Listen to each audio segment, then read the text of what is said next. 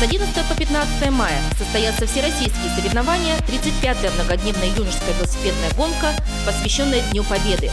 Спортсмены из Омска, Кемерово, Новокузнецка, Новосибирска, Астаны и Челябинской области поборются за звание сильнейшего. Представление команд состоится 12 мая в 17.00 на Омском велотреке.